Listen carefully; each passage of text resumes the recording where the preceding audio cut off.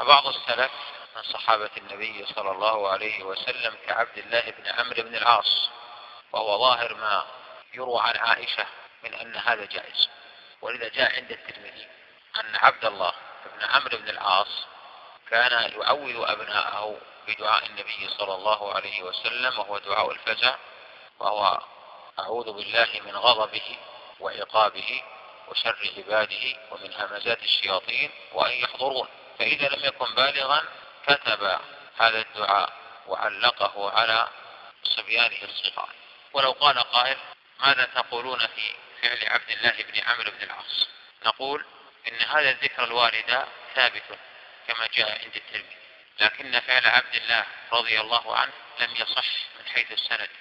وقد ضعف الألباني رحمه الله فعل عبد الله بن عمرو بن العاص وقال إنه لم يثبت إنما الثابت الذكر الوارد